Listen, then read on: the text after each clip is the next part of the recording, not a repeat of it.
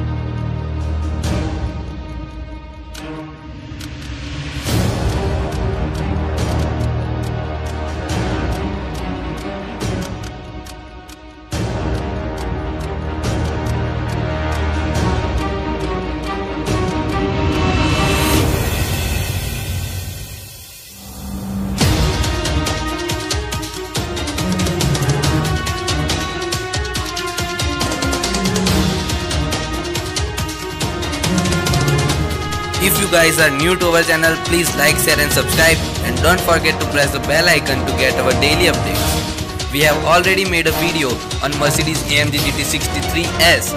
Press the I button above and get that video.